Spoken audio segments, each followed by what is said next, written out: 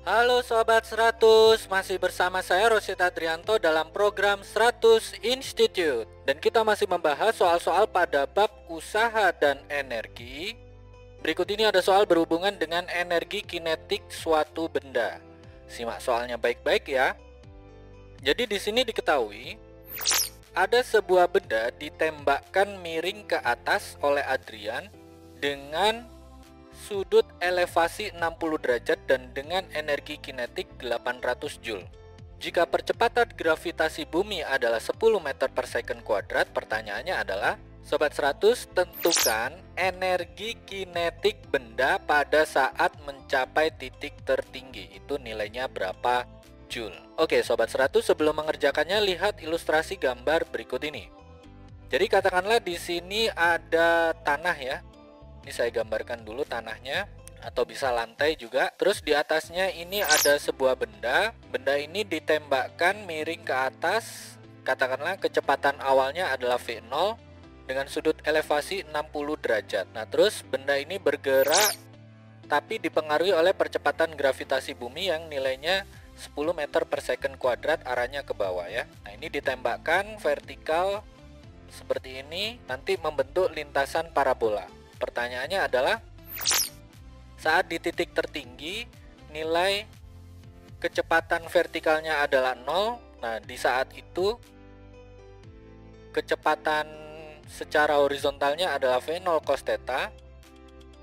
Jika mula-mula energi kinetiknya adalah 800 Joule, maka di titik tertinggi ini energi kinetiknya berapa? Oke, Sobat 100 masih ingat ya, rumus dari energi kinetik itu adalah setengah MV kuadrat. Ingat-ingat ini ya. Nah, di sini ada dua keadaan yaitu saat awal energi kinetiknya adalah 800 Joule terus saat di titik tertinggi energi kinetiknya berapa? Karena ada dua keadaan maka bisa kita buatkan rasionya ya yaitu EK aksen per EK 0 sama dengan setengah MV aksen kuadrat per setengah MV 0 kuadrat. Nah, di bentuk ini ada setengah M di atas tanda per dan di bawah juga ada setengah M. Ini bisa kita coret habis maka kita dapatkan rasio energi kinetiknya yaitu EK aksen banding EK 0 yaitu 800 Joule sama dengan V0 cos 60 derajat dikuadratkan dibagi dengan V0 kuadrat. Nah, di atas ini V0 dikuadratkan jadinya V0 kuadrat ya. Di bawah juga ada V0 kuadrat. Ini kita bisa coret habis. Ingat yang di atas ini V aksen ya. V aksen kita ganti dengan ini V0 cos theta, tetanya 60 derajat. Nah, sehingga ini nilainya adalah sama dengan cos dari 60 derajat dikuadratkan. Cos 60 itu adalah setengah setengah kalau dikuadratkan seperempat ya.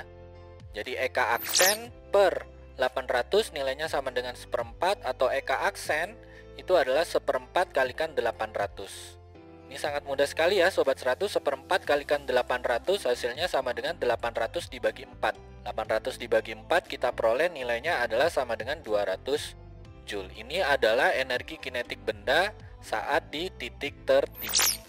Sampai di sini sobat 100 bisa dipahami ya. Jadi ingat baik-baik kalau ada soal berhubungan dengan energi kinetik, rumus yang dipakai ini ya sobat 100. EK sama dengan setengah MV kuadrat. Nah kalau di sini ada dua keadaan, sobat 100 bisa buatkan rasio seperti ini, EK aksen per EK 0 sama dengan setengah MV aksen kuadrat per setengah MV 0 kuadrat. Sobat 100 harus paham di titik tertinggi benda itu tidak lagi bergerak vertikal ke atas berarti V-nya sama dengan 0 yang mana di titik tertinggi ini hanya ada kecepatan horizontal saja. Jadi V aksen sama dengan V0 cos theta. Jadi nilai V aksen ini kita ganti dengan V0 cos theta. Nah masukkan sudutnya masukkan energi awal lakukan perhitungan nanti sobat 100 akan dapatkan nilai energi kinetik benda saat di titik tertinggi. Itu berapa Joule. Begitu ya sobat 100 sampai di sini bisa dipahami ya. Nah, kalau sobat 100 sudah paham untuk video penjelasan ini, sobat 100 bisa melihat atau mempelajari video penjelasan yang berikutnya. Lalu, untuk pertanyaan atau soal-soal berkaitan dengan mata pelajaran matematika, fisika, kimia, Mandarin atau English, Sobat 100 bisa tanyakan soalnya di aplikasi tanya jawab soal. Oke Sobat 100, selamat belajar ya.